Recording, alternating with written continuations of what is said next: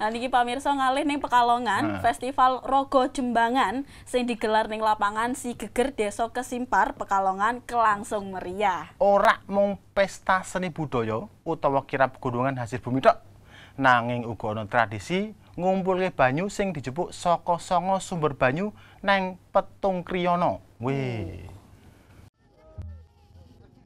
Nyampur songo sumber banyu petung kriyono iki maknane ngejak marang warga kanggo terus njaga lingkungan lan sumber banyu sing ana ning saben desa yaiku desa Curug Muncar, Cumelem, Kasimpar, Kayu Puring, Simeko, Sangga Dadi, Tlaga Hendra, Tlaga Pakis lan desa Yosorejo.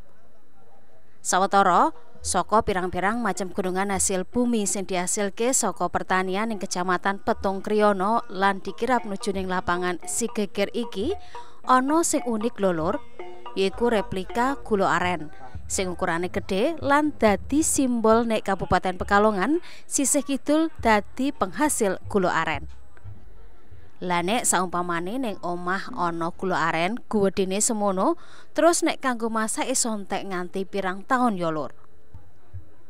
Lah prosesi mecah kendi sing isine banyu saka sanga sumber banyu petung kriyono iki uga unik. Iki dadi simbol supaya kabeh njaga alam orang rusak sumber banyu lan alas merga banyu dadi sumber saka kauripan.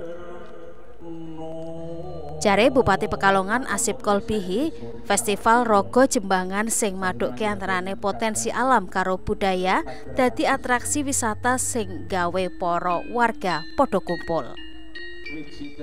Festival Rogo Jembangan kita akan menjaga eh, kelestarian sumber air, kemudian juga terkandung maksud supaya masyarakat tidak merusak hutan, kemudian menjaga lingkungan dengan cara tidak membuang sampah plastik sembarangan di hutan, karena ini akan mengurangi tingkat kesuburan hutan.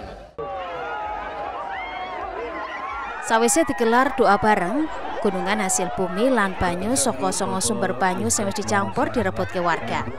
Lan festival Rogo Jembangan sing ditekani ewanan warga iki ora mung saka warga Petung Kriyono sing teka, nanging uga ana warga saka kutha liyane. Ari Himawan, kutane dhewe, Pekalongan. bersilaturahmi dengan seluruh keluarga besar Petung, teman-teman dari